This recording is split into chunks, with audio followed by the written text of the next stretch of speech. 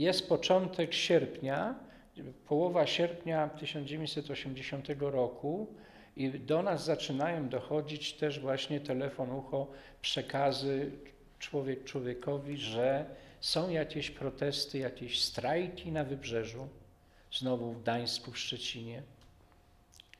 I e, każdego dnia coś tam się udaje więcej usłyszeć, a to takie rzeczy, że mm, tam w zakładach pracy, oczywiście Stocznia Gdańska, ale inne zakłady, podobno wszystko to stoi, nie pracuje, e, Gdańsk jest tam otoczony, drogi zablokowane, a tutaj reszta Polski jakby nigdy nic się nie dzieje. E, takie mieliśmy konstatacje. Jednocześnie ktoś gdzieś powiedział, że jakieś wagony, puste węglarki po rozładowaniu z węglem ze Śląska w portach w Gdańsku czy gdzie indziej, po rozładowaniu wracają z napisami e, czasem e, no takimi niemiłymi dla Śląska, ruszcie się, prawda, albo jeszcze trochę gorsze, e, że wy tutaj zawsze jesteście ciule na Śląsku i nie chcecie e, walczyć o lepsze, o poprawę życia, a my tutaj e, protestujemy i działamy różne tego typu rzeczy jedni drugim przekazywali zawsze w zaufaniu. Ale nagle pewnego dnia wszyscy byliśmy zszokowani działaniami kierownictwa kombinatu Huty Katowice w poszczególnych wydziałach. Otóż zaczynamy się orientować, że kierownictwa w poszczególnych działach, wydziałach, zakładach Huty Katowice zaczynają nagle zwoływać niecodzienne zebrania pracownicze. I na tych zebraniach pracowniczych za, zachęcają wręcz ludzi do krytyki, do krytykowania wszystkiego, co uznają za stosowne. I w pierwszych momentach, jak pamiętam, jak to było przekazywane, jak ja się dowiadywałem, ludzie właśnie nic nie gadali, nie wiedzieli o co chodzi nie wiedzieli, co, co, co oni knują. Bo jak jego kierownik do tej pory przychodzi, gdzie trzeba było morda w kubeł, prawda, żeby się nie wychylać i tak dalej. Nagle tutaj przychodzi jeden, ten drugi, trzeci, e, e, Kaziu, Witek czy inny, prawda, pan inżynier taki czy inny i mówi, Słuchajcie, chłopy, tak, mówcie, co wam na wątrobie leży, mówcie, co wam się nie podoba, ale to wszystko, co macie i tu na, i, na, i w brygadzie, i, i, na szerszym forum, i na wydziale, i, i w ogóle w hucie, i co, a może w Polsce wam się jakieś rzeczy nie podobają. Któregoś dnia mm, jest ogłoszenie, że cały zakład transportu kolejowego o określonej godzinie spotyka się na zebraniu Czytam cały wydział, ja już nie chcę przekręcić, już nie pamiętam, bo cały zakład transportu kolejowego miał kilka wydziałów, a każdy wydział był też potężną jednostką administracyjną. Na brygady siedzieli i tak dalej. Więc udaje się na te zebranie. I na tym zebraniu patrzę, jest ten mój kolega z tego z kółka konspiracyjnego naszego, w którym już mieliśmy podziemną bibułę, dyskut, prowadziliśmy rozmowy e, e, takie opozycyjne, więc e, patrzę, że w tym zebraniu uczestniczy szereg osób z naszego e, koła konspiracji luźnej, między innymi Jacek Jagiełka, mój manewrowy oczywiście ustawiacz Marcel Hanke i siadamy razem we trójkę, tak gdzieś tam sobie e, w takim kącie i czekamy co będzie. Nigdzie się nie wychylamy, tylko czekamy co będzie.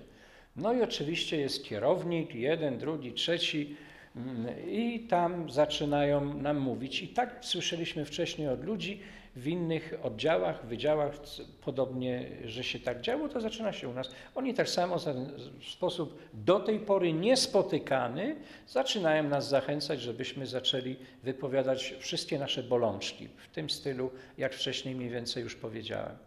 I następuje też konsternacja wśród zgromadzonych, ale nie wśród nas. Ale my postanawiamy nie dyskutować na, od samego początku, tylko czekać jak to pójdzie. No i ludzie nagle tam zaczynają się powolutku przełamywać, tym bardziej, że e, kierownictwo zaczyna zachęcać. No jak to, nie macie, na pewno macie problemy, zawsze tyle ktoś tam mi powie, no co nagle nie umiecie nic powiedzieć. No to zaczyna ktoś tam mówić, no dobrze, no to a za długo ubrania robocze e, trzeba nosić, zanim e, można wymienić. Nie ma gdzie tego wyprać, a to sami w domu musimy. A to brakuje tego, a to tamto, a to jednoosobowa obsługa. Jako maszyniści powinniśmy mieć pomocnika, a jak nie mamy pomocnika, to powinniśmy mieć więcej pieniędzy zapłacone. I, i takie różne pracownicze problemy zaczynają być podnoszone, a to, że mieszkania miały być, a już nie ma, prawda? A to, że y, to jest uciążliwy ten system czterobrygadowy, a to znowu takie, zaczyna się zaopatrzenie w sklepach, także kończyć już, y, to nie jest tak, jak było jeszcze rok temu. A to my tam gdzieś słyszymy, że tam jakiś protest na wybrzeżu, jakieś pracownicze, nawet chyba jakiś tam strajk albo coś, ale my nie wiemy, tam ktoś tam.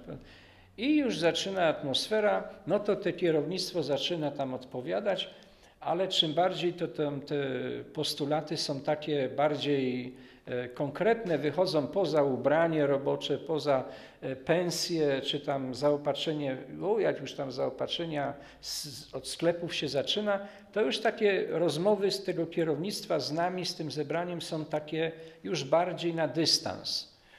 Byli go dyskutować e, do upadłego o te rękawice, o te ubrania, o takie rzeczy, ale nie o te ogólne. I wtedy my postanawiamy wejść do akcji. I w tym momencie Jacek Jagiełka, ja, Marcel, mamy swoje krótkie wypowiedzi, mniej więcej w takim stylu, że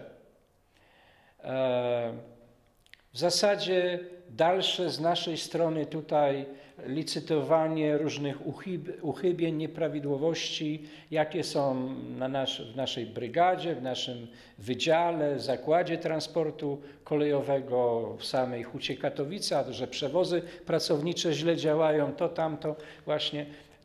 To wszystko można by było długo, ale nie ma sensu, bo tak naprawdę podobne warunki mają ludzie w zakładach pracy w całej Polsce.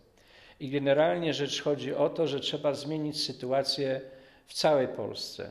A żeby zmienić sytuację w całej Polsce, to potrzeba większych zmian, aniżeli tylko co może tutaj pan kierownik, jeden czy drugi, prawda, czy nawet dyrektor Huty Katowice. I w takie tony zaczęliśmy uderzać i mm, e, sala zamilkła, te kierownictwo coraz bardziej słucha nam nie przerywa. I w końcu puentujemy taką rzeczą, że najważniejszą sprawą jest to, że ta władza sama widać nic nie zmieni, bo były dramatyczne robotnicze protesty 10 lat temu na wybrzeżu, było dużo zapowiedzi, prawda, pomożecie, pomożemy, przyszła ekipa Gierka i były wydarzenia w Radomiu w 76 roku, naprawdę nic się nie zmienia. Po prostu pracownicy są traktowani jako robole, prawda? Mamy, mamy tylko zasuwać i nie pytać i tylko słuchać.